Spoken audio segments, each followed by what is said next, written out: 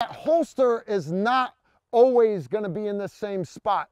By me, if you focus just on my show, just on my uh, holster right here, by me switching just my feet, that holster has moved. Yeah, it's only moved a couple of an inch, a couple of inches, but that will screw up your perfect grip at the moment of truth in that gunfight when you need it the most. So, combat shooting, that's what we want to learn here. It's why they come to us here.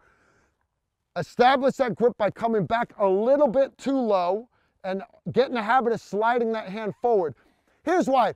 If I accidentally hit a little bit too far forward, by trying to grip perfect, now I hit too high. But if I deliberately try to aim rear and I hit too far forward, my hand is perfect. If I hit a little bit too far back, my hand can still slide forward to my gun. Step one, initial grip of the firearm, you've got to have it.